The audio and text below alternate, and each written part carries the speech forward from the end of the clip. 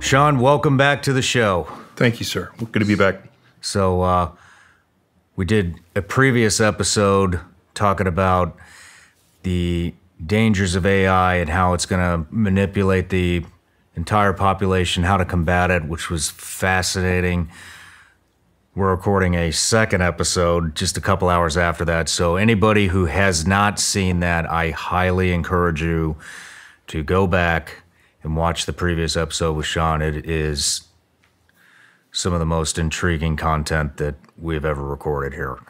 And so today, so you're no stranger to the show. So today, we're going to get into the Monroe Institute and remote viewing, how you got involved in that, what's the Monroe Institute, talk about, you know, some of the stuff that CIA and the Mo and the Monroe Institute have uh, collaborated on, and uh, when it comes to remote viewing, and and um, and we'll get into it. Nice. But uh, yeah, really, I am super pumped about this episode as well.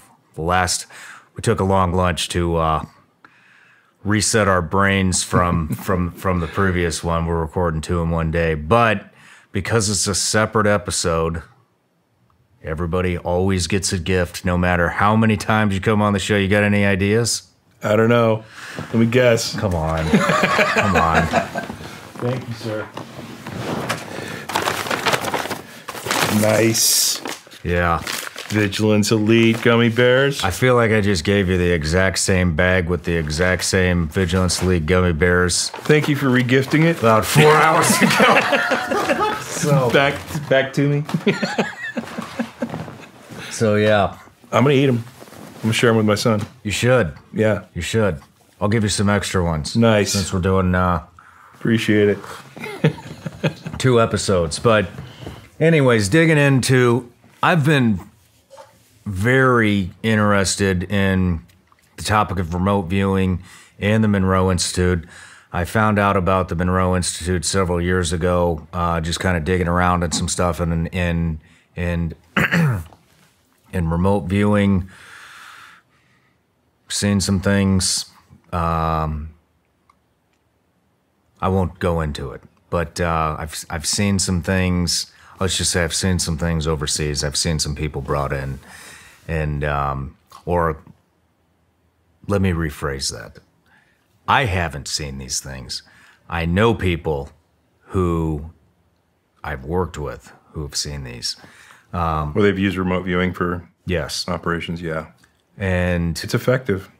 it it ever since I've ever since that got put in my ear, I have just been intrigued by it and, Yeah. and been wanting to dive in and I haven't it's it's the Monroe Institute has been a topic on I have a sheet that of of of different topics that I'm I'm very interested in that I want to interview people about and and on the same sheet is a list of names it's like a dream list of who I want to interview Yeah. Monroe is Monroe Institute and remote viewing has been on there. It was one of the first things I put on the list, and then we had a conversation, um, and about somebody else, Yeah. who you were prompting me to kind of get on the show, and I hope that happens.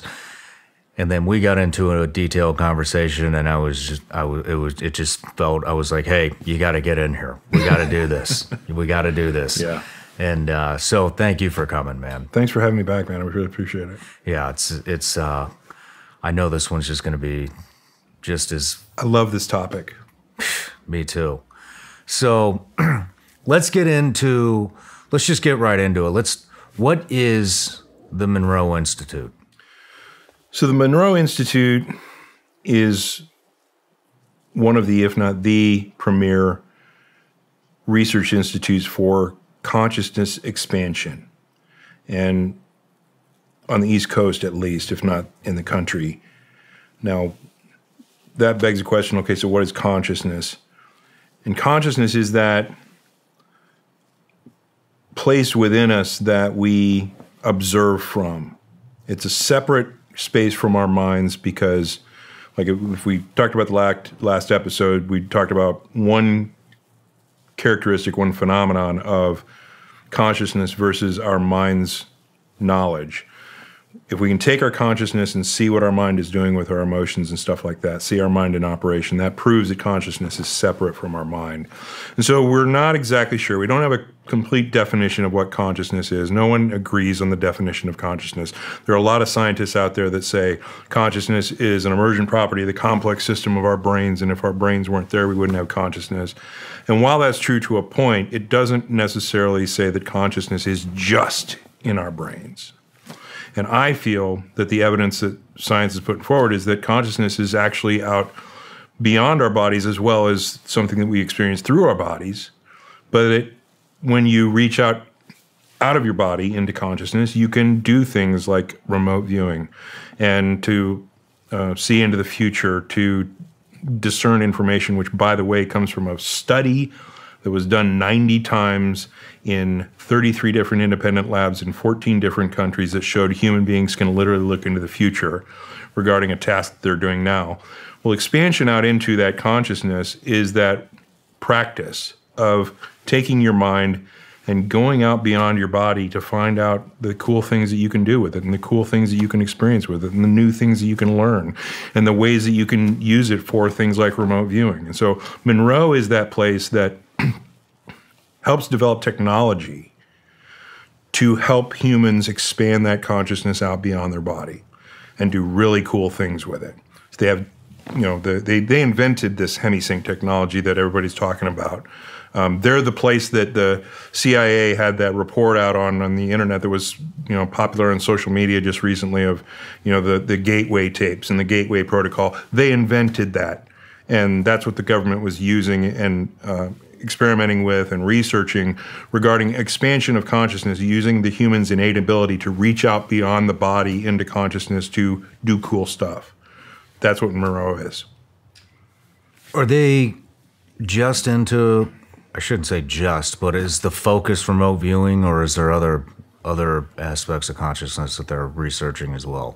There are other aspects. They're number one in remote viewing because of their history of helping to develop a training program for the CIA and, and military industrial um, remote viewers that they developed the program for, they trained the people in the government who were remote viewers for a number of years before they actually had their own program set up internally. Um, so that's kind of their their pedigree and their history is being the top place that trained all the remote viewers and, and put together a training program that allowed for people to do that kind of cool stuff. Uh, but then they branched out into other stuff, like Bob Monroe, who started the Monroe Institute, who's no longer with us.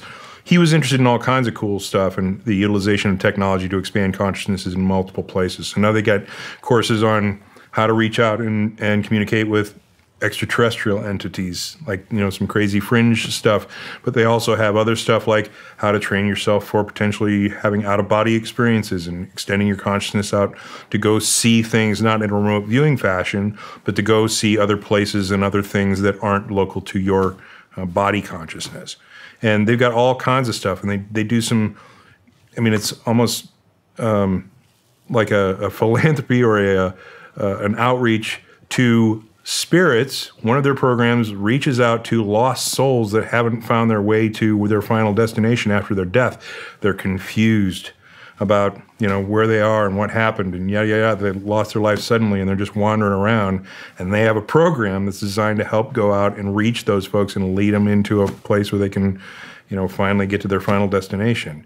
It's like and and there's science up there that helps validate a lot of what they're doing in the physical realm to say there are there's evidence that proves that this stuff is effective. There's evidence, and like in the case of Joe McMoneagle, who was remote viewer number one for the Army intelligence and CIA program that they put together, his evidence is irrefutable. Like that's on government record that he did all this stuff and was able to go to other places from his living room in Virginia and then out an entire nuclear uh, sub program for the Russian military where he was the only one in the room who drew the sub with all these characteristics, and and then it proved to be completely accurate.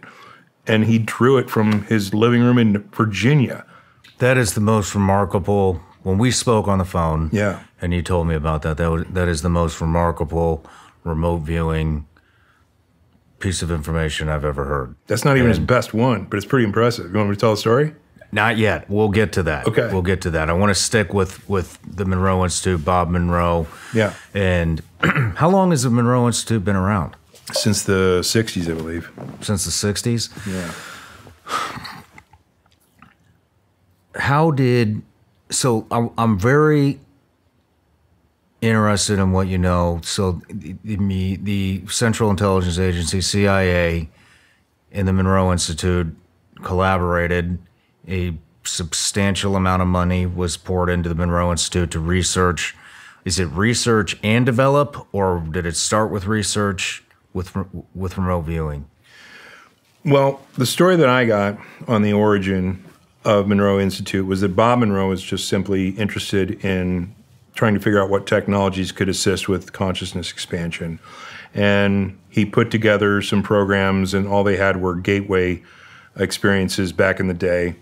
And what is a um, gateway experience? so the gateway is Bob's method of introducing binaural frequencies to where, for instance, you have 100 hertz in one ear and 104 hertz in the other ear. You can hear them both, but you can't hear 4 hertz normally, it's below our audible level. But if you put two signals in your ears, right and left, that have a difference of 4 hertz, your brain then starts activating in a way to try to resolve that. And it turns on things because that's specifically right in the delta and theta. Uh, transition area, and it can turn on experiences in your mind that would not normally be turned on in your consciousness. And so it gives you different experiences of consciousness. And so um, he started to experiment with that kind of technology. And that program, the Gateway, was introducing people into different levels of consciousness where you could experience deeper levels of concentration aided by the technology that they were putting in headphones. Right. And so there's this guy, um, Skip, who was instructed to put together the remote viewing program for the military and CIA because they were getting reports that Russia was doing the same thing, that they were using psychics to look inside the secrets of the United States. So they needed to do an analysis of what kind of risk they were talking about and whether the United States should also investigate that type of technology. Russia's doing this too. Yeah, Russia was doing it at the time, and we were getting reports about it. So they were ahead of us on this. Yeah. Is anybody else doing this that you're aware of? Uh, I, from what I understand, although no one would admit it, every major country in the United States is implementing this type of program. Or excuse me, every every major country in the world is implementing is implementing this. Like every first world nation is implementing this in their intelligence communities. Wow. Yeah, but no one wants to talk about it because first of all, it's woo woo crazy stuff. Um, and second, you know, you don't want to identify your best viewers because, for instance, like Joe was attempted to assassinated three times. Hey, you know what? People listening right now that think this is woo woo, do a Google search, do a DuckDuckGo search, do a whatever the hell you want search, and just Google Monroe Institute, CIA, and the shit's gonna come up. Yeah, So yeah. there you go. For all of you people that still believe in, you know, that the the, the that that you know you got to hear it from a from a government source. Yeah. Which I I can't believe, whatever. But uh, there it is. It's right there. Yeah, I mean they they invested millions of dollars in Monroe. Skip, uh, their old uh, program director for remote viewing, came down and was just researching, you know, trying to figure out what a what a training program might look like for a remote viewer. Um, how do you expand somebody's consciousness, or how do you increase their level of uh, psychic abilities? Is you know, and this is crazy stuff that they were investigating back then. But they wanted to make sure they weren't investing money in a bad way, or they weren't wasting it on charlatans, that type of thing. So he would go out to these places and and investigate them. And uh, Bob basically took him around, gave him a tour, but put him in a radio shielded room with a pair of headphones on, started playing some tones in his ears, and Skip started floating up out of his body. So he thought that was pretty interesting. And so he put Monroe on a short list of places to investigate after he identified some folks who could uh, possibly be good remote viewers. And so then um, he devised the idea that he said, okay, so we're looking for folks in the intelligent community. How do we find, you know, who, who might be the psychics? and he looked for folks who were in their jobs longer than they should be. Because he thought, just as a common sense perspective, if these people are tuned into something extra, it's going to be the folks who are surviving longer in a shorter life expectancy job because they're making the right choices at the right times to stay alive. And it just so happened that um, Joe McMoneagle, who was remote viewer number one, he had spent 14 years in the field as an operative. And he was in a job that the life expectancy was 20 months, and he had spent 14 years in that job. So they yanked him in and started interrogating him to ask him to you know see if he was a double agent and was getting fed information on the other side. And when they figured out he wasn't, they sent him to Stanford Research Institute for testing, where Russell Targ and Hal Puthoff, uh, which I'm sure those names will ring some bells for folks who are interested in extraterrestrial stuff, because Hal's at the top of that chain as well. Um, Hal Puthoff and Russell Targ were developing a program to try to test remote viewers, and they sent Joe McMoneagle out there, and he tested off the charts. He nailed every one of their tests except for one, and he got a second place result on the last one. What What are some of these tests? So, basically, the tests were: we have a target, you don't know who it is, and that target, through a double blind process, has been instructed to go to a location. The target doesn't know where the, the target's a person, the target doesn't know where the location is until they're handed the envelope, tell them to go there. The targets have been randomized and put in envelopes, and then a dice gets rolled for a randomization to, to select where they're going. And they're, they're, the two people are never in the same room, they don't know each other. The remote viewer goes in a radio shielded room that's separated in a different building, and the target randomized location, they get the envelope, they open it up, they go there. And so then it's the job of the remote viewer to say, okay, your target is at a location. Tell us about the location. And that's it. That's all they get. So then the remote viewer goes into a little bit of a meditation to clear their mind. And um, Joe's explanation of remote viewing is like you imagine a cardboard door in front of you and you poke a hole in it and you don't see the whole picture but you start to see a little bit of it. And you get the, the little pieces of information about things. And he started drawing what he saw on the target location. And he would nail, um, and now here's, here's the process of how a, a separate viewing gets viewed. It's a separate judge who isn't connected with the experiment at all, except he's judging the remote viewing versus multiple targets that could exist. So he doesn't know where the target is either. He gets a randomized selection inside a stack of targets.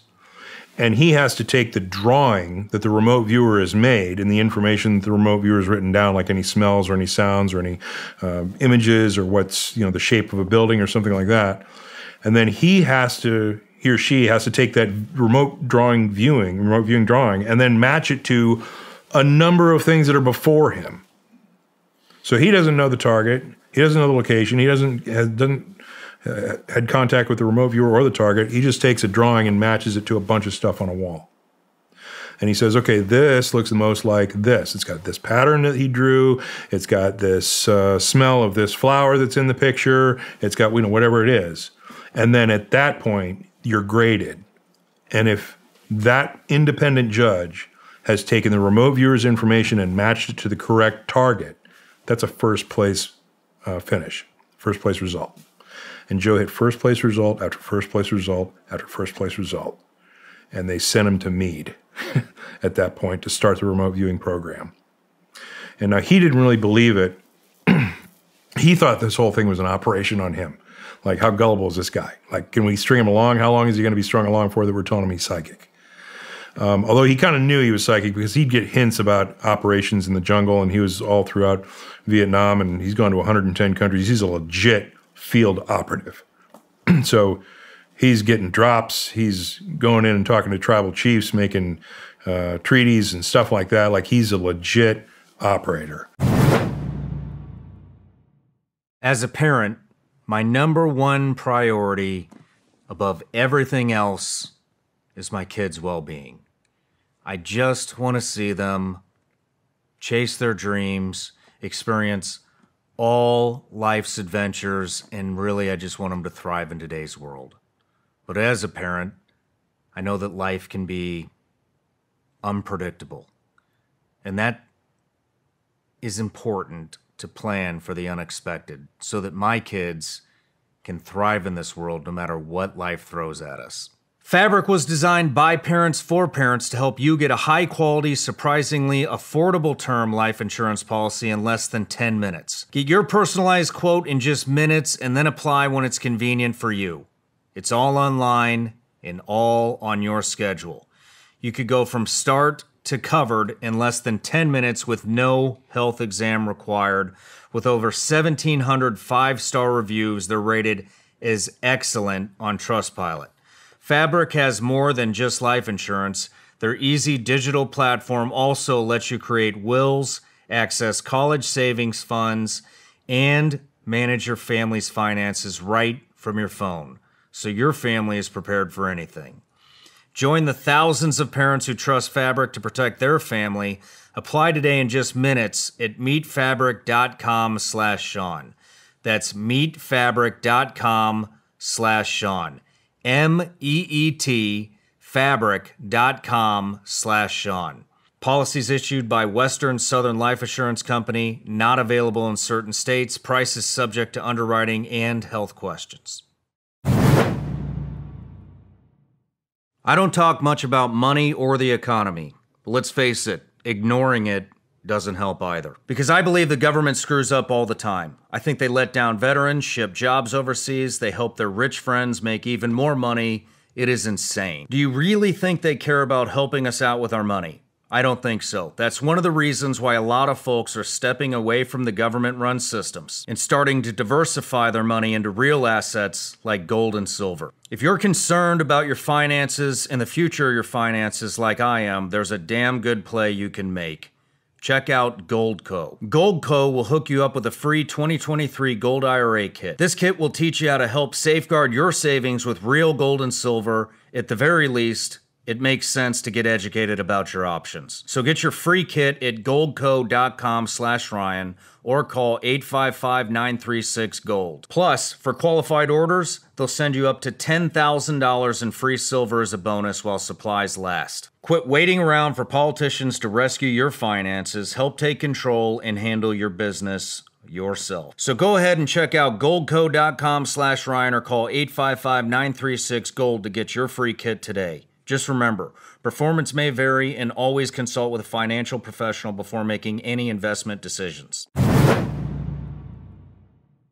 You've heard the buzz about ketone supplements and how they can boost your workouts by helping your body use fatty acids for fuel. I take a shot of HVMN ketone supplement before my morning workout. It's focused energy. It's not an energy drink though. It's like a feeling of being in the zone. I don't feel hyper jittery, anxiety, stuff like I get when I drink too much coffee. They're great for cycling, long runs, and all kinds of workouts, and can help you stay sharper on a regular basis. We also just received some exciting news. In addition to being available in select Equinox gyms, Ketone IQ can now be found in local Sprout stores nationwide. I wish I'd had this product when I was on active duty. I get better endurance, I don't get the crash, and it helps curb my appetite. HVMN is offering my audience 30% off your first subscription order of Ketone IQ. You can save 30% off your first subscription order of Ketone IQ at hvmn.com slash Sean.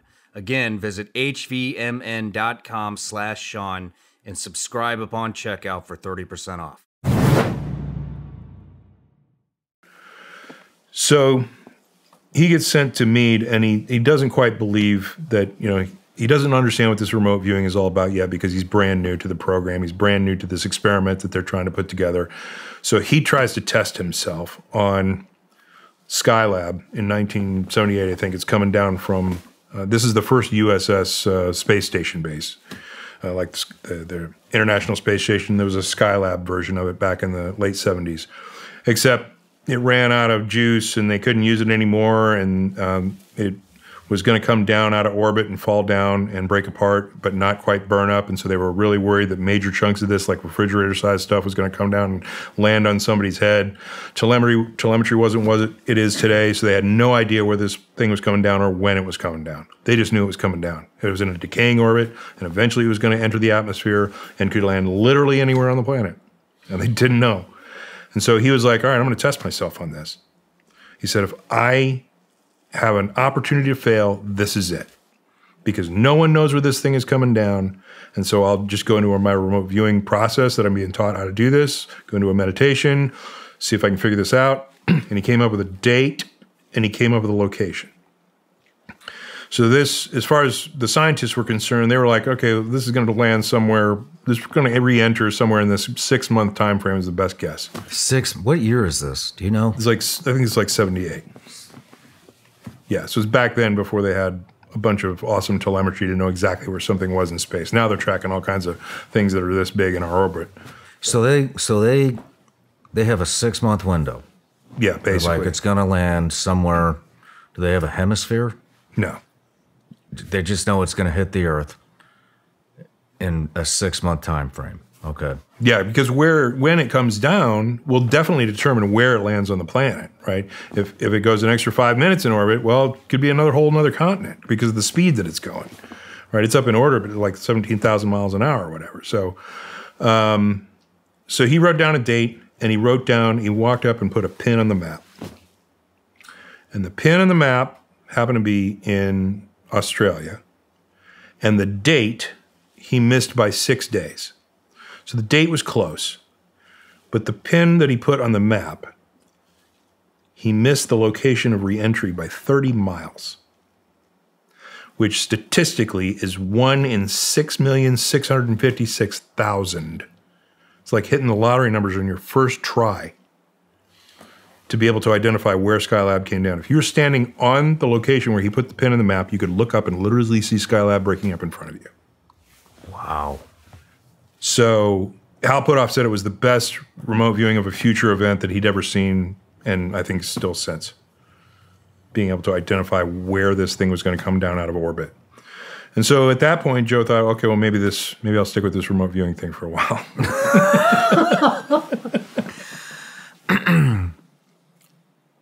What sparked? What was the what was the event that sparked CIA's interest in all of this? Well, I think they were just motivated to try to investigate whether this had any merit for intelligence gathering and for operational information. Was it Russia? Yeah. Russia's Russia's capability with remote viewing is what sparked the United States to Central Intelligence Agency to start looking into this. Yeah. How much money did they dump into this program?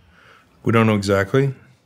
Um, Joe uh, personally told me over a lunch millions. So more than one officially. I don't know how many millions, but um, it was very important for the United States to be able to investigate whether or not this had intelligence capabilities and what level of benefit that could be gleaned from investigating this type of of because they started getting amazing viewings out of Joe right away, and it's like, okay, well, how many amazing LeBron James of consciousness are there um, to say, you know, this person can sit in a room and tell me what's going on at a location and potential future events? Because some of the remote viewers that the CIA used were able to produce the effects of nuclear tests that had been secret until the remote viewer said this is going to happen be able to figure out whether it was going to be a success or a failure because some of them were failures. Um, and all the intelligence turned out to be correct. And so they were super interested. Joe McMoneagle never missed the location of a nuclear sub in his entire career because he, he explains that there's a high level of entropy in a reactor for a sub. And that just glows like a big bright light in consciousness where those locations of those types of entropy events are.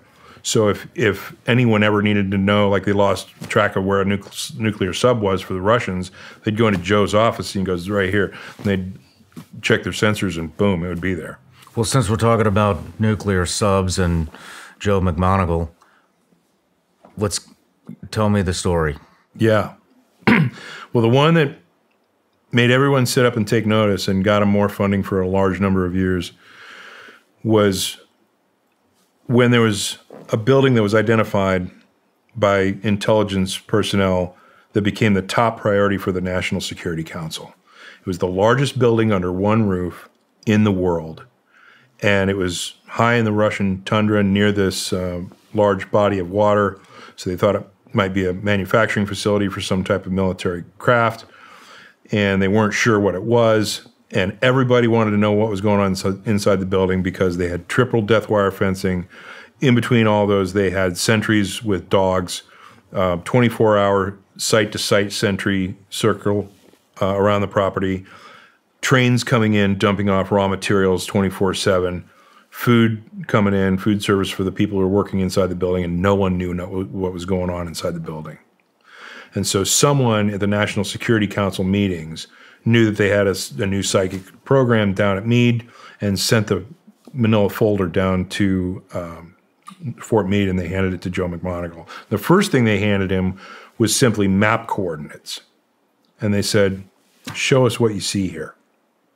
And he came up with the building that they were concerned about. And he, and he described the building, and they said, Okay, you're on target.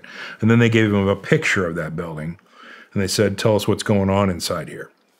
Now, the guys in the National Security Council and all the intelligence guys who were in the room came to the consensus that um, it was going to be some kind of troop carrier uh, that they could probably transport over to the ocean because it was four or five blocks away from the ocean, but it was short enough to where they could transport something of medium size over to the ocean to get it into the water. Um, but that was their best guess. Joe McMoneagle was the only person who came up with the result. He dropped into the building and he started viewing this thing, and he viewed it over a number of uh, days and came up with a drawing and an explanation and technical specifications for a brand new submarine. And he said, This is the biggest submarine in the world by far. It's one and a half times bigger than the next biggest sub. This is the brand new classification of Russian sub. And he came up with a number of very unique characteristics for that sub. and he said, It's not a cylinder. It's a cylinder that looks like it's cut in half, spread out, and then a flat part welded on the top and the bottom. And the U.S. engineers looked at that later after he sent it and he said, that's impossible. It'd be crushed at depth. You know, it's highly unlikely, et cetera. But then he added the specifications. It's got a special drive um, propulsion system that I, I, don't want to say too much about. Uh, but it's also got canted launch tubes, which means it can fire nuclear missiles on the run without having to stop, which could give us about 20 minutes warning that we're going to lose 1,200 cities. So this is a first strike weapon. And it's, by the way, if you've seen the movie Hunt for Red October, that submarine that they used in that movie was the sub that Joe McMoneagle outed. he said it's almost two football fields long, it's 75 feet wide, it's seven stories tall. He drew, and he's got a video of this where that he sent up to the National Security Council. He drew a diagram of the sub with its specifications, with its very interesting uh, technical advancements that the United States didn't have on their subs. And he's got the original tape that he that he submitted to the NSC, and this has been declassified, so he can share it now. So this is the tape that he reported up to the NSC before the thing was launched, um, and and proved him correct. But he sent all that up, and Robert Gates was the guy who is collecting all the information for the people disseminating the information for the National Security Council, didn't even let it through. Really? Yeah, because he's like, this came from a psychic. And they're like, yeah. And he's like, he looked at it and he like looked at the report and he's like, okay, the sub, the, the engineers said the sub can't survive at depth. Um, it's way too big. He's the only guy who thinks it's a sub. It's not, they're not going to be able to roll this off into the water. There's no water there and they, it's too big to transport over to the ocean. So he wrote Total Fantasy on top of the report and sent it back to Joe at Meade. Joe is not pleased. he's a little bit of an attitude, and he's a really good operative who's now just been put into this remote viewing thing where he's had some success in. And he's like, I know this is a sub. And so he took that total fantasy remark and he wrote under it He went back into a, a, meditation and he looked at the sub again. He looked how far along was it, and he made an estimation of how long it was going to take to launch this thing. And he goes, "Yeah, well, your total fantasy launches in 112 days. Send it back to Robert Gates at Meade or at uh, the Pentagon." How did that go? well, Robert Gates has a little bit of an ego.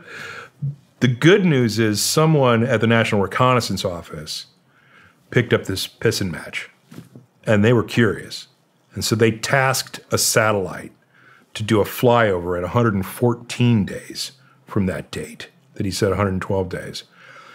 And they snapped pictures of the Red October submarine, seven stories high, 75 feet wide, almost two football fields long, canted launch tubes, special propulsion, the whole thing. He nailed it all. Are you serious? Yeah. Two cylinders separated with flat pieces in between right next to a brand new in a brand new canal that they built right next to the building in from the sea so they could roll it off into the water. So they built a canal in the 4 months that he said they were going to launch it in and just dumped it into the into the canal right next to the building.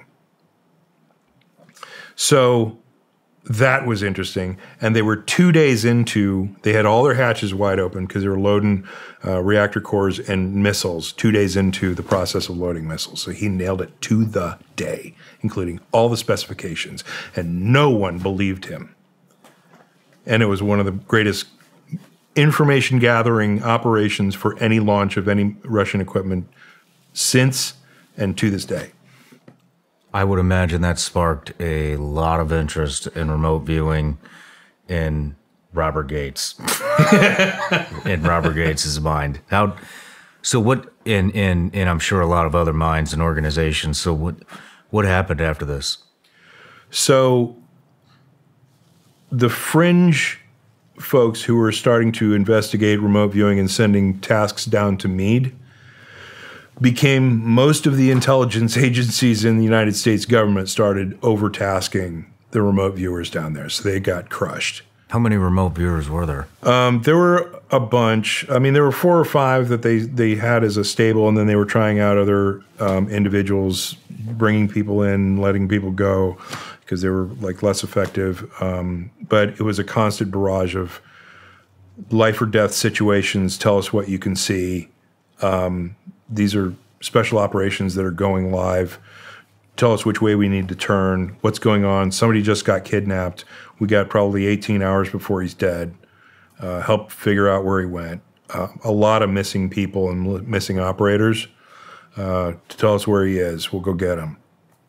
And uh, that was that was taxing on a lot of those remote viewers, and they got burned out pretty quick. And so that that's where the Monroe Institute stepped in to help provide a training program that could give them a faster cool down and a deeper focus on being able to get good information in a quicker time so that they didn't have to spend so much time prepping and meditation to be able to get in and get a good viewing on something. How long are these guys spending in meditation? Um, well, it depends on the viewer, um, but you could do uh, like in the in the early days I think Joe told me he was spending, you know, 45 minutes to an hour to try to figure out a place where he could get to where he could get a, a good bit of information. Um, but in his later years, after he was practiced, and this is why plasticity matters here, where your brain changes in form and function to help you do like you you play the piano, and then all of a sudden you get better at playing the piano because your brain just gets used to it and he says, okay, I need to play the piano better. Shooting baskets, you get that muscle memory. Well, that's your brain changing to help you shoot those baskets better and just drain the three. Um, doing crossword puzzles, your brain will change in form and function to help you do the crossword puzzles faster. Well, it turns out remote viewing is the same way um, later in his life, uh, when he was doing remote viewing, like for one example, he got a call one night when he was in Las Vegas from the local sheriff who was looking for a missing child. And the mom thought the child was with dad, and the dad thought the child was with mom. And it's getting dark when they figured out the child is missing. And it's in Virginia wilderness and in the county in which um, Joe lived and there's, there's wild animals and it's getting cold at night and the kids may not make it. He got a call in the middle of the night by the sheriff who's like, let's get the psychic on the phone. And um, Joe immediately picked up the phone, closed his eyes for like five seconds, and then basically told the sheriff, he goes, send your deputy out this road to this particular location. Have him stop the car, get out of the car, get his compass out. And at 318 degrees on his compass, I want you to walk 1,209 steps. Stop, call the child's name out, and he will respond. And that was like within five ten seconds of getting the call and asking, you know, what the details were. And then he gave a reading. And so the, he goes back to bed thinking, okay, hopefully they're going to find the kid. If they follow his directions, they will. About five minutes later, 10 minutes later, you get the, another call in his hotel room and he's pissed because it's ringing the phone in the middle of the night again. So he gets up, grabs the phone. Hello? Joe, we sent our officer out there to the spot where you said, and he pulled out his compass. And he, but this officer just said he got back from training last week regarding missing children, and he said the statistics are that kids 10 and under will not walk up a hill when they're lost. But he's looking at his compass reading and it goes directly up a, a steep hill. What do you want us to do? And his answer was immediate. He's like, do what I told you to do. Click. and so then another five, ten minutes goes by and he gets another call and he picks up the phone a little softer this time because I think he had a feeling that they found him. He's like, Did you find him? And she goes, Yes, Joe. Thank you very much. Good night.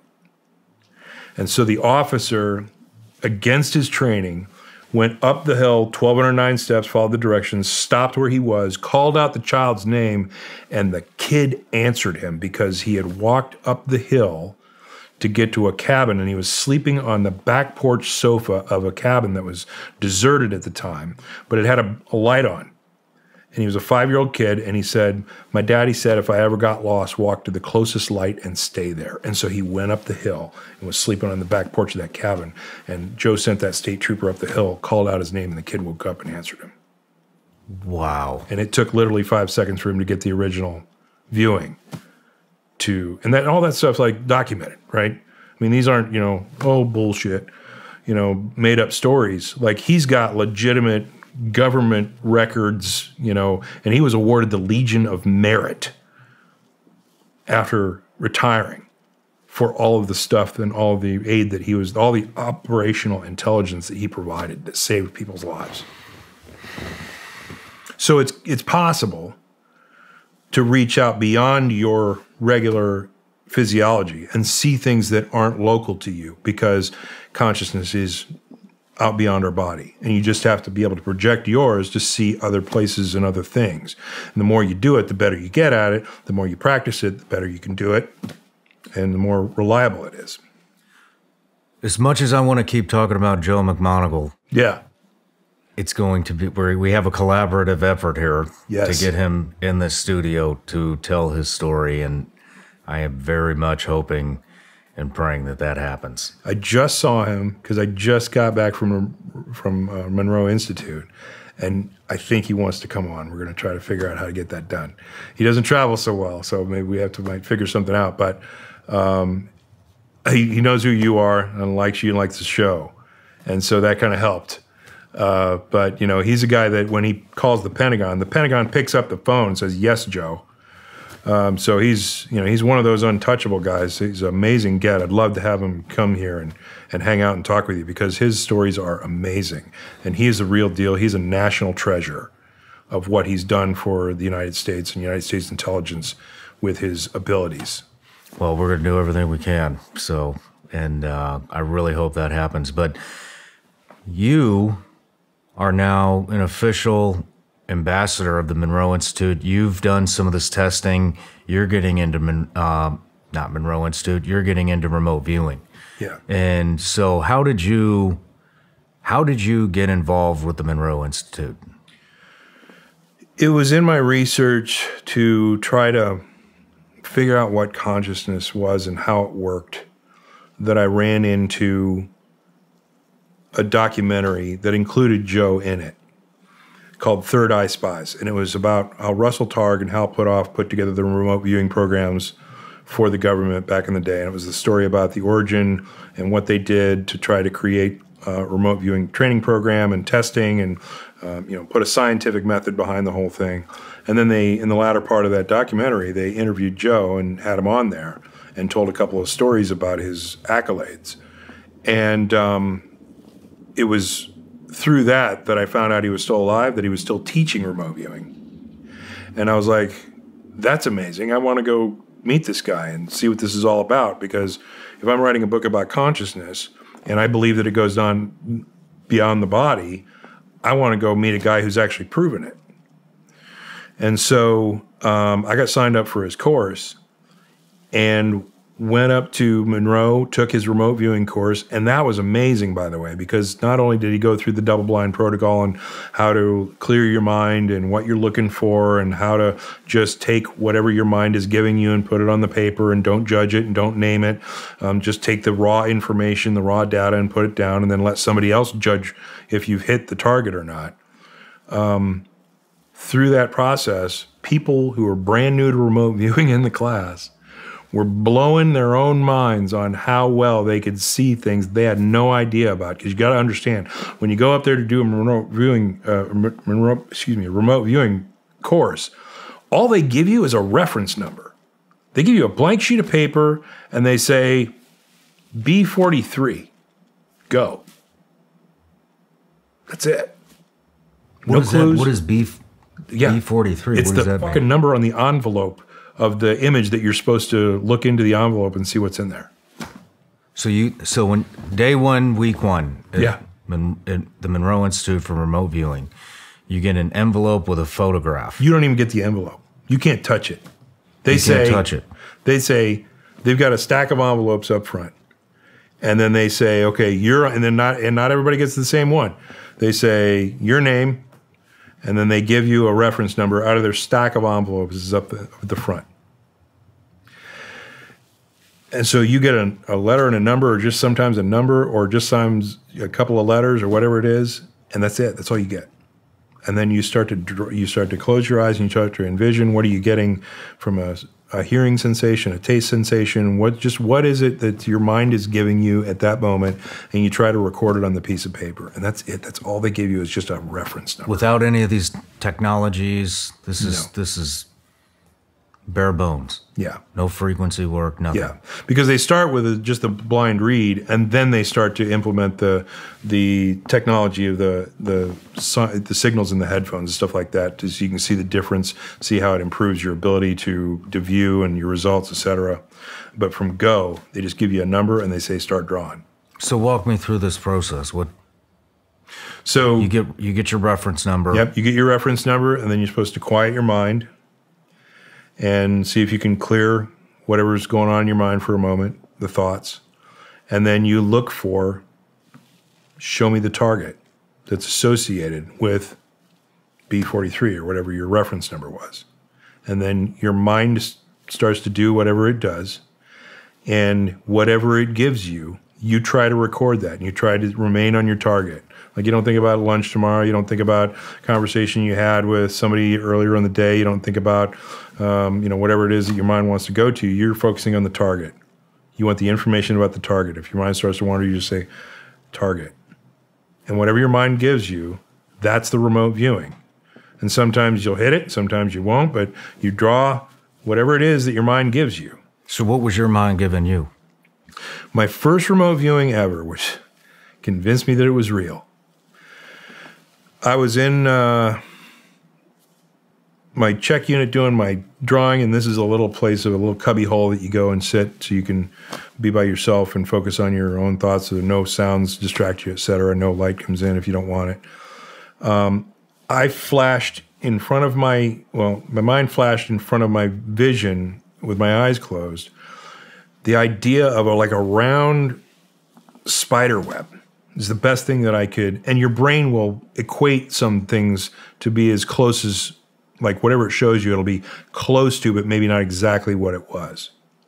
So I just saw like a spider web, and I saw multiple lines going out from the center, and I saw multiple lines connecting the lines that were going out, so it kind of looked like a spider web.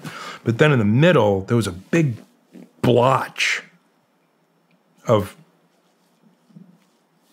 opaque material, whatever it was, I don't know. So basically, I drew like a spider web with a big old dot in the middle of it, scribble, scribble, scribble, and that's all that I got.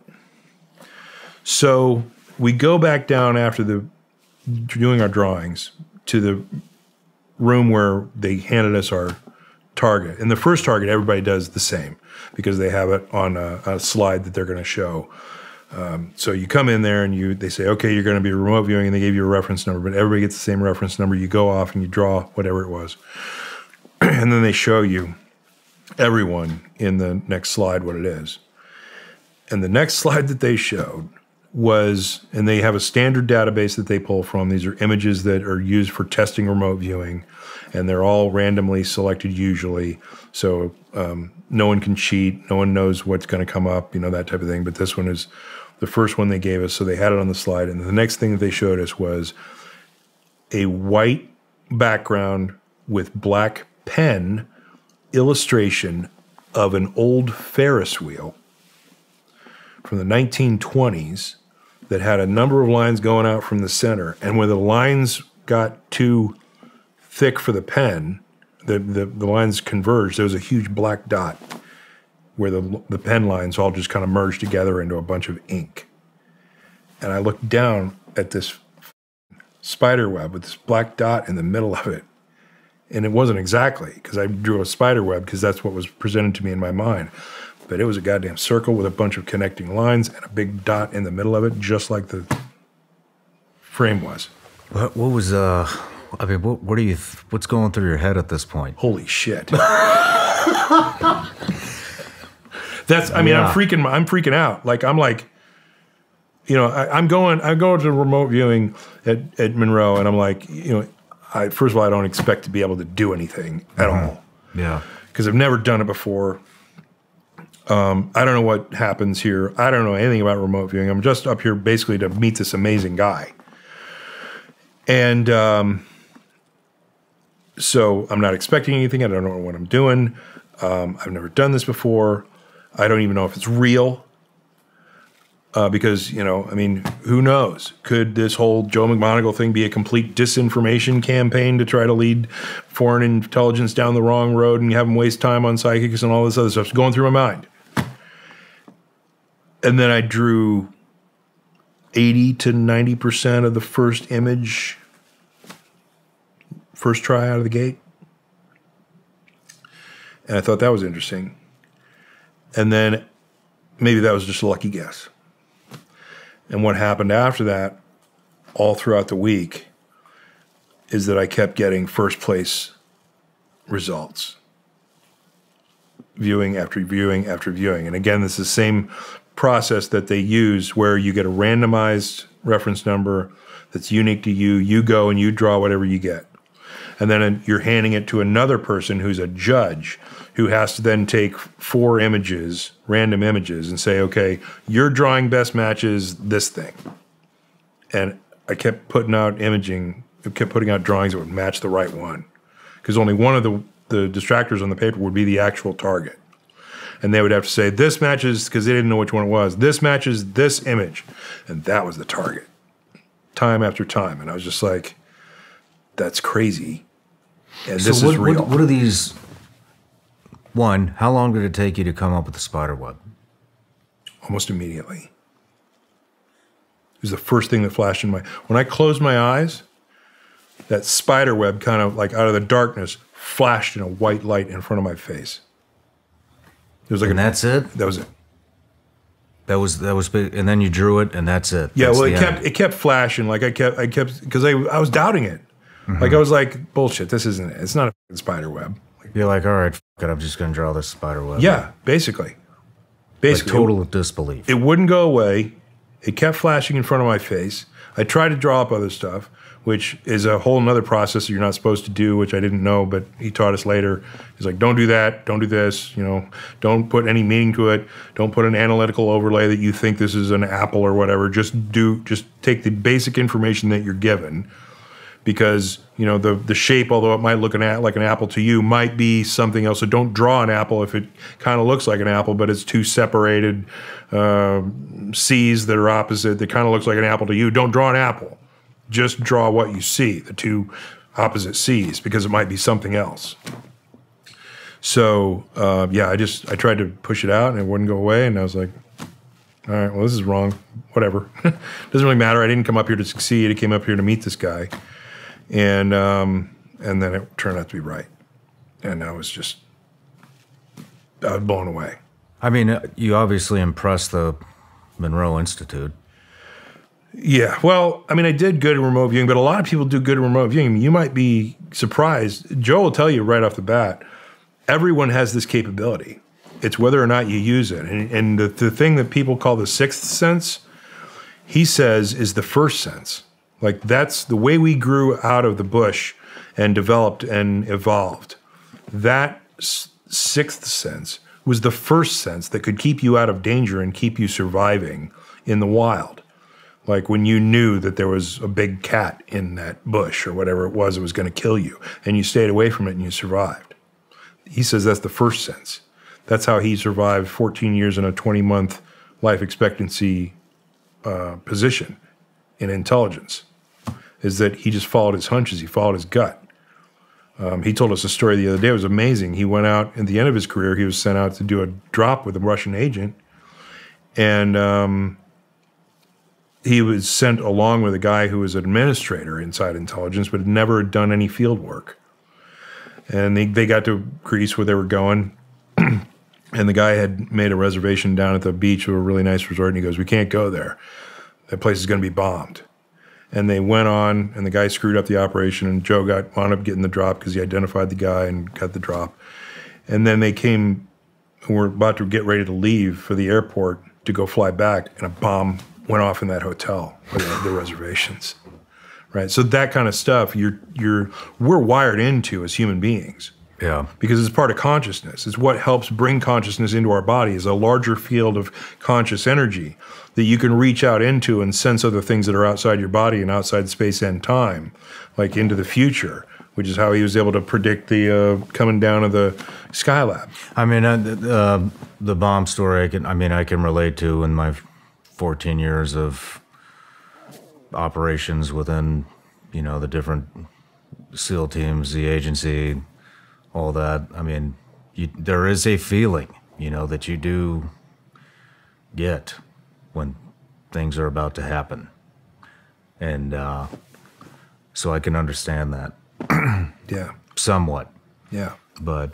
Well, he says everybody's tagged into this. Like everybody's connected into it. It's whether or not you use it and whether or not you exercise it that where you can actually get better at it or not. And so, you know, you, you go through this week and you get a little more confidence and you get a little bit more trusting in the process. And all of a sudden, most of the class is nailing their assignments in remote viewing. No kidding. I mean, it's amazing. So most, I was actually that was a question of mine. I wanted to know how many people were in your group roughly. Yeah, roughly about 20. And, And, I'd say about 14 or 15 of them were nailing first class or first uh, uh, first place results most of the time.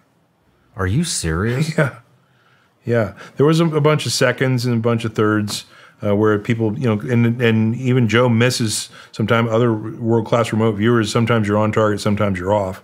I mean, it's you're not nailing it all the time. Um, and that was prevalent in the class.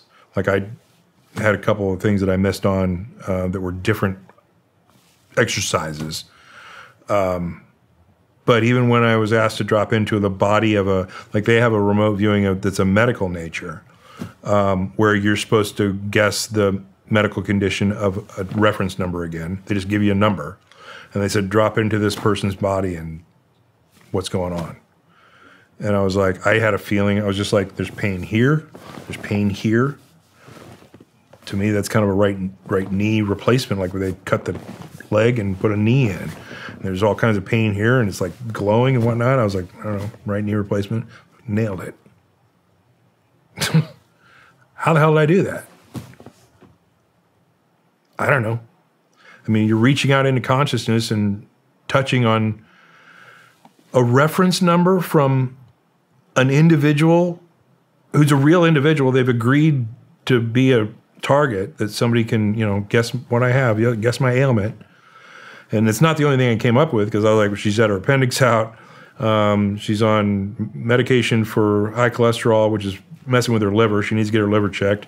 I came up with a whole laundry list of stuff because I didn't even know what they're talking about. But I was like, there's a right knee replacement. And they, were, and they looked and they were like, that's right.